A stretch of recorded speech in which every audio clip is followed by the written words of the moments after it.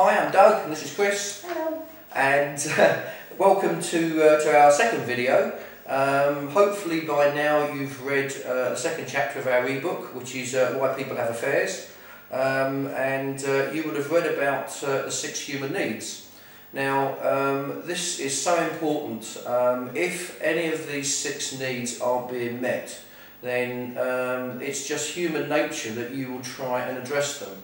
Uh, and this is so often the reason why people go out um, and, uh, and look uh, outside of their relationship um, when some of these needs aren't being met. So um, although we, we kind of outline them in the book, we'd just like to go through them in a little bit more depth here.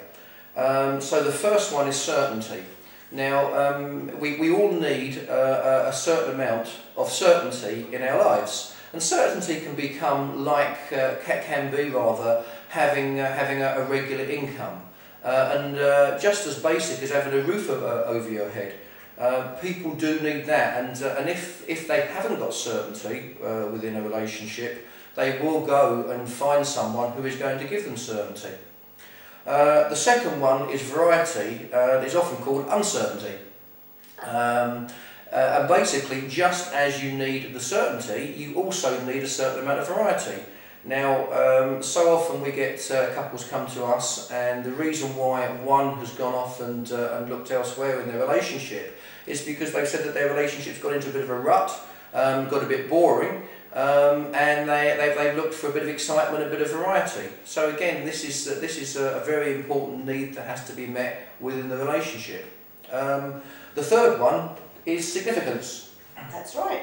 And everybody wants to feel significant. You know, whatever area of your life you're in, um, you know, it's just human nature to want to feel as if you're important, made to feel, you know, you, that you're, you're special.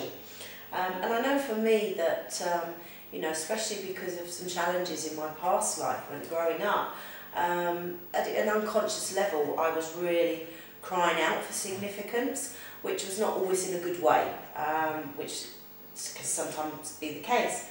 And but in a relationship, it is even more so important. Is that you know you make each other feel significant, and you know this can be done by many um, different little ways, which you know we've covered in the book as well. The other one is love and connection, and to me this is the most important.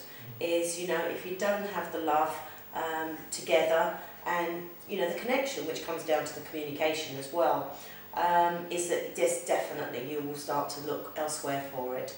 Like I mentioned in the last video um, about um, the, the good relationship I had with the person I used to work with.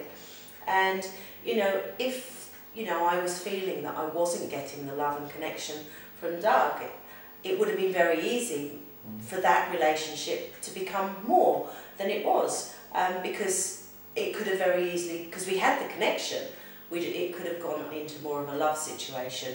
So this is very much why, you know, you know, we get people contacting us about relationships with people at work um, quite a lot, don't we, Doug? Mm, yeah, and um, you know, so you know, always my first sort of thought is when I get that uh, from somebody is that well, you know, they're just not getting it at home because you know you don't want to, or you wouldn't even want to go elsewhere if you had it in your own home. Mm. Yeah, and so, so often we kind of take each other for granted. Um, we're all really busy. Uh, we don't take time out from our busy schedules just to make sure that, uh, that we are giving the love um, and keeping the connection going. And so much of it um, comes back to communication. You know, I'm sure you've picked up already on what we've said and what you've read, uh, that communication is absolutely key. So, um, you know, what we're, we're looking to do on these videos really is to give you little ideas and little exercises that you can do to really um, get the connection, uh, so get the communication and the connection uh, going between you. Um, so that the fifth, the fifth one is growth. Um, all relationships need to grow. Uh, as people, we need to grow. Um, and um, because of the need to grow, it's very important that we grow together.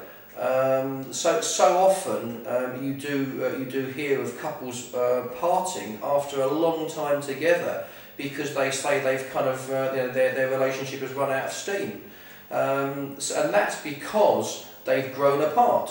So you know it's so important really to make sure that the uh, that your relationship, uh, as it grows and develops, that you, you you do keep talking and you grow your relationship together. Absolutely. Yeah, uh, and then the the last uh, human need is is contribution.